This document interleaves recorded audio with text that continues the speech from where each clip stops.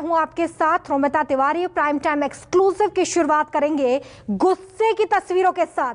System के खिलाफ नाराज़गी और आक्रोश की खबरों के साथ। खबर बिहार की राजधानी पटना से है, जहाँ पर गरीबों के लिए खाना लेकर निकली एक भोजपुरी एक्ट्रेस का गुस्सा। पुलिस, प्रशासन, सीएम, पीएम सब पर फूट पड़ा। महिला की गलती ये थी कि वो बिना हेलमेट पहने सड़क पर स्कूटी लेकर निकल गई थी। पुलिस ने भी महिला से किसी तरह की कोई बदसलूकी नहीं की। लेकिन कोरोना से बिगड़े हालातों के चलते किस तरह गुस्से का पारा हाई होता जा रहा है, इस खबर को देखकर आप समझ जाएँगे।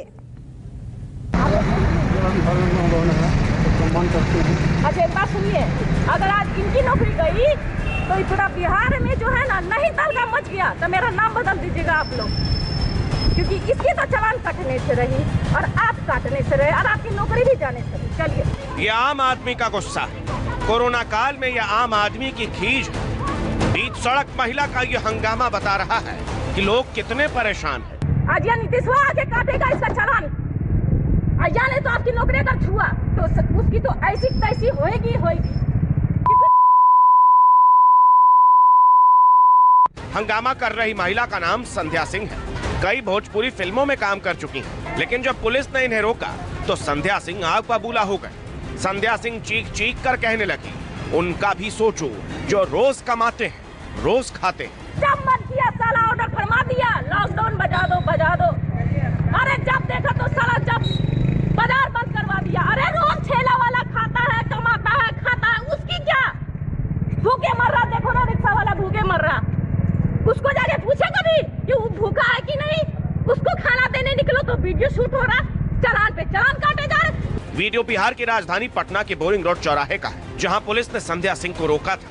पुलिस के जवानों ने संध्या से लॉकडाउन के समय बाहर निकलने की वजह पूछी थी। पूछा था कि, मैडम, आपने हेलमेट क्यों नहीं लगा रखा है? संध्या सिंह ने कहा है कि, मैं गरीबों को खाना देने आई हूँ। बस इसी पर ट्रैफ़िक पुलिस और महिला के बीच तीखी बहस हो गई। करके कहा जाती है? नीतीशवा के पॉकेट मोदिया के पॉकेट में? बोरिंग रोड चौराहे पर ट्रैफ़िक पुलिस महिला को कहती रही कि हेलमेट आपकी सुरक्षा के लिए ही है। जिस पर महिला ने कहा कि ठीक है लेकिन वो लॉकडाउन के समय हर बार गरीबों को खाना बांटती है। उनकी मदद करती है क्योंकि वो भूखे पेट सुनिए ना मीडिया भैया हाँ। एक बार बात करिए दीपक से और राजेश भैया से आपको राजेश भैया? ये गाड़ी का पास इसलिए बनेगा कि गरीब लोग जो भूखे मर रहे उसका जाके वीडियो क्यों नहीं शूट कर नहीं नहीं वो तो सब ठीक है मैं तो वही देखने के लिए गई थी। बनाइए वीडियो आप। हाँ। मैं वही देखने के लिए गई थी। हर लॉकडाउन में करती हूँ मैं ये काम। अच्छा। आज इसको लगाइए वीडियो जितना लगाना है हेलमेट भी नहीं लगाएँगे आप? हाँ नहीं लगाऊँगी मैं।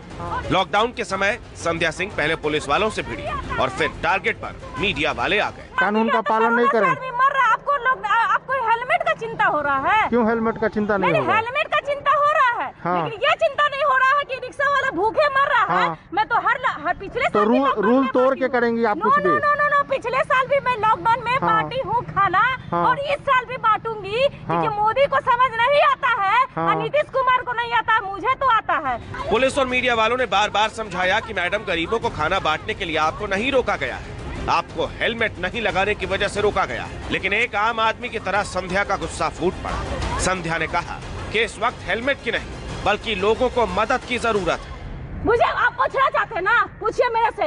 हाँ। सवाल पूछिए। सवाल ये कि आपने हेलमेट नहीं लगाया? नहीं हेलमेट को लात मारी है क्यों? क्योंकि हेलमेट से ज़्यादा इम्पोर्टेंट अभी कोरोना को लेकर के लॉकडाउन किया गया है। कभी पूछा आपने कि अगर कोरोना में आदमी मर जाता है तो हेलमेट का ओझ हिलेगा? इसके बाद मैडम ने पुलिस को एक आम आदमी की तरह अपनी समस्या भी बताई। स्कूटी की डिग्गी खोली टिकट निकाली और पूछा कि इस तरह की स्थिति के लिए कौन जिम्मेदार है? ये मेरी टिकट है। मुझे गाड़ी नहीं मिल रहा। ये मेरी टिकट है और मुझे गाड़ी नहीं मिल रहा जंक्शन जाने के लिए। सर आप बताइए मैं कैसे जाऊँ? इसको लेके जाऊँ? कहाँ लगाऊँगी डेढ़ लाख की गाड़ी? चोरी कर लेगा कुछ भी कर लेगा कहाँ लगाऊँ? उसके चलते तीन घंटे से फिर रही थी मार्केट में। फ़िलहाल महिला के खिलाफ महामारी एक्ट के तहत एफआईआर दर्ज करने का आदेश हो चुका है। करके कहा जाती है? नीतीशवा के पॉकेट मोदिया के पॉकेट में। बिहार के लोग लॉकडाउन का मज़ाक बना रहे हैं। कोई स्कूटी पर बिना हेलमेट घूम रहा है तो कोई ई पास के लिए नए नए तरकीब अपना रहा है। बिहार में बेहद ज़रूरी काम के लिए ई पास लेकर बाहर निकल सकते हैं, लेकिन अब ई पास को लेकर लोग अलग अलग आइडिया अपना रहे हैं। पूर्णिया के डीएम राहुल कुमार ने ट्वीट कर एप्लीकेशन जारी की, जिसमें ई पास देने की अपील की गई है और बीमारी बताई गई है, चेहरे और माथे पर पिंपल। इसी पर तंज कसते हुए राहुल कुमार ने लिखा कि, भाई, तुम्हारे पिंपल का इलाज अभी इंतज़ार कर सकता है। अब जरा महाराष्ट्र के भीड़ शहर में जिला अस्पताल केंद्र की तस्वीर देखी चारों तरफ़ भीड़ है। ये लोग वैक्सीन लेने पहुँचे हैं।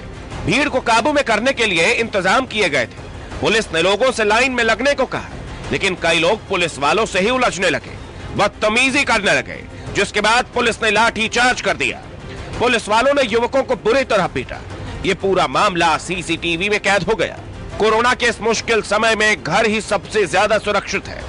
लेकिन कई तफरीबाज अपने साथ साथ दूसरों की जान भी जोखिम में डाल रहे हैं, जिसके खिलाफ अब पुलिस हर जगह सख्त एक्शन ले रही है।